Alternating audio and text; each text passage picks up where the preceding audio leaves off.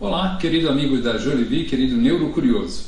Nelson Anunciato hoje com vocês, tendo a grande oportunidade de tomar um café com óleo de coco e com azeite de oliva. As pessoas sempre têm perguntado, mas Nelson, como que você faz o seu café? Quanto que você coloca de óleo de coco? Quanto você coloca de azeite de oliva? E eu queria então partilhar isso com vocês. Bom, eu já fiz o café porque essa máquina faz um pouco de, de ruído. É, eu utilizo né, o, o, café em grão, mas não é obrigatório utilizar o café em grão, você fique à vontade.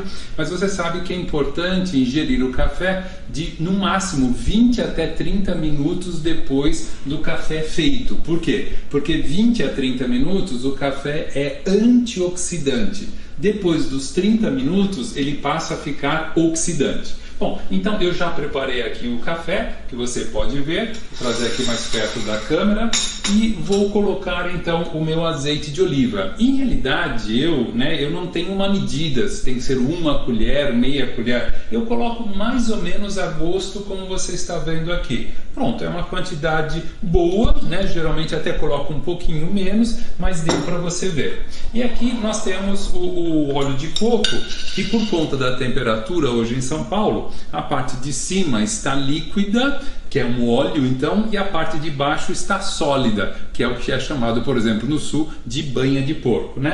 E aqui também eu não tenho uma medida, é, eu coloco no mínimo, por exemplo, duas das colheres dessa de, de café, você está vendo até que é uma colher relativamente grande, aí é claro, eu vou mexer o café, e vou degustar desse café aqui junto com você.